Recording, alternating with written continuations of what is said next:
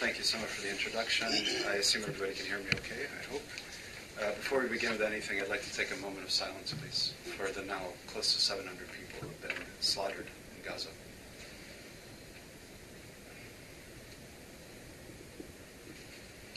Perhaps the word slaughtered seems a bit jarring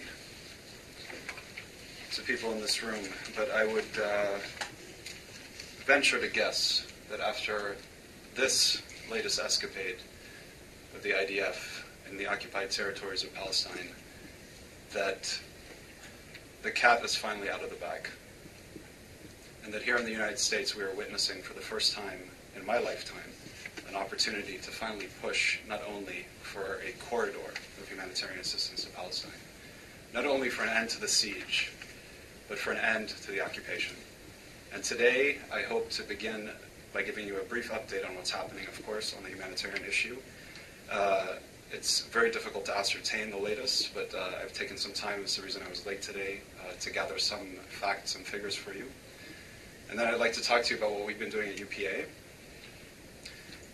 And to let you know, to assure you, that although many of us in this room are waiting for the siege to end, and we have been made to believe that nothing can be done until that has happened, that there is actually much that can be done right now by everybody in this room, should you choose to do it.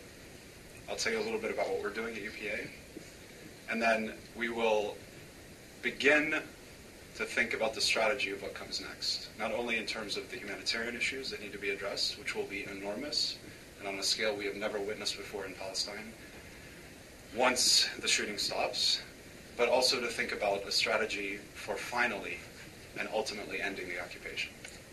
So let's begin with the latest from the ground. Um, as, as I'm sure you know, at this point, we're talking about uh, fatalities upwards of 640 people, 40 plus of whom were massacred in a UN school just yesterday, in a school that was clearly marked, uh, the GPS coordinates of which were given to the IDF.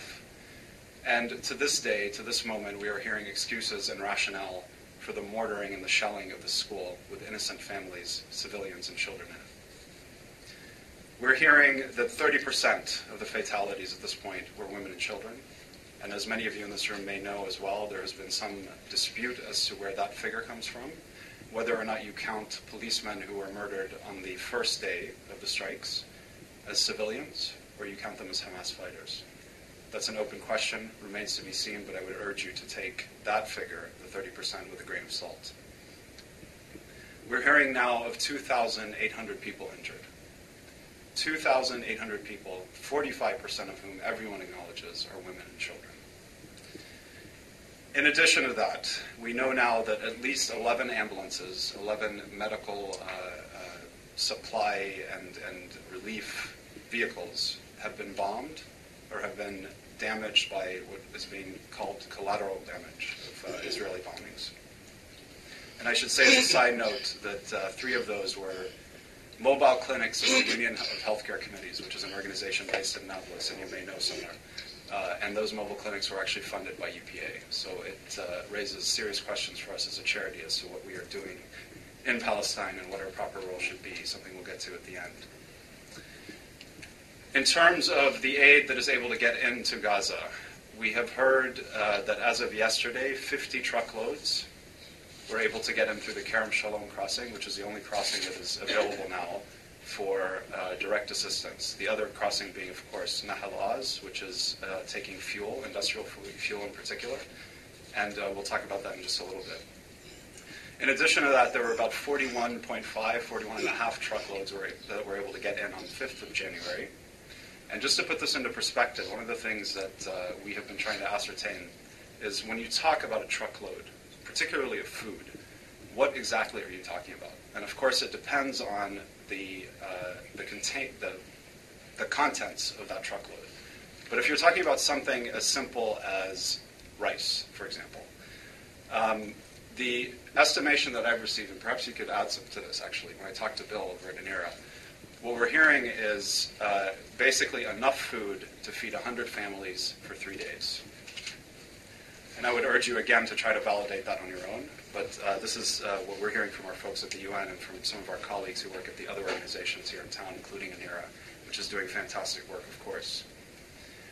100 families for three days. And we're talking now about a population, 1.5 million people, 70 to 80% of whom, depending on who you believe, are initially, originally refugees from the creation of the State of Israel. 80% of whom depend on food assistance to survive before the attacks began. And 80% of whom live below the poverty line, as it is defined in Palestine. So to say that 50 truckloads of food got into Gaza is essentially to say that you're giving less than the drop in the bucket, the proverbial drop in the bucket of helping people. And this, of course, does not factor into, uh, into the equation the issue of all of the injured, the wounded, the dead, and the mourning that exist in Gaza today. The Nahal Oz pipeline, just to give you uh, a brief update on that as well. We're hearing that on 6 January, which of course was yesterday, was completely closed. And this is, again, for industrial fuel. The industrial fuel, which not only powers the generation plants that give electricity, but also powers the genera- uh, uh, provides the fuel that powers the generators that allows physicians, surgeons, and hospitals to continue to treat the wounded. We're hearing reports now that at the largest hospital in Gaza, which of course is Al Shifa, they have all of two days' worth of industrial fuel left to perform all of the uh, much needed medical attention that they have to perform at this point. There is no sign that Nahal Oz, by the way, was open today, although we haven't heard final word of that. If anyone in this room knows better, I would urge you to speak up. Rafah, which is uh, an entirely different issue that I, I don't, uh, I'm not inclined to get into today because of the, the politics of where Egypt stands on all of this. I can tell you, just as a matter of fact, that 10 truckloads of medical supplies were allowed into Gaza yesterday, and 18 medical cases were evacuated the Karni conveyor belt, which is the only uh, crossing point into Gaza that allows wheat grain, which of course is what allows the bakeries to continue to make bread, which is the absolute mm-hmm. minimum that people who are going hungry need in order to not be hungry, was completely closed yesterday. And it has remained closed throughout these attacks, and there's no sign of it opening. Only nine bakeries, as a result, remain open in Gaza. This is nine bakeries out of an estimated 53 that we know of. And those bakeries are, have not received any flour since December 27th and the beginning of the attacks. Prices of this bread, as a direct result, have doubled in most areas of the Gaza Strip. And even if people were able to afford it, they don't have the cash to be able to pay for the bread. And let's pause here for just a moment, because as Summer mentioned, uh, before I started working at UPA, I worked for the World Bank. And we worked on uh, access to finance, which is a, a, another sort of World Bankish way of saying microfinance. It's a way of giving poor people access to credit, to savings, to various financial services to be able to lift themselves up out of poverty. And I have never, in all of my time, either with the World Bank or USA, USAID, heard of a situation where people are unable to buy bread simply because they do not have the physical pieces of paper, the shekels that come from the Central Bank of Israel, at their disposal. Even if someone were to find work, and there are upwards of 100,000 people who do participate in a food for work program by way of UNRWA, they are not able to actually get the physical paper and the coins to be able to go out on the market and buy things. It is unprecedented what we were seeing in Gaza today. There are shortages of cooking gas, of course, because of the, the inability to get anything into Gaza today uh, whether it be industrial fuel or gas of that nature. And therefore, households which have access to dry goods, rice in the case of what we were talking about before, are unable to cook it. And even if cooking gas were able to get in to Gaza, and we've heard uh, the same story when it comes to food and medications, the UN and UNRWA in particular is reporting extreme difficulty not only getting it at the crossing point, but being able to distribute it to people who need it the most, particularly in the north of Gaza.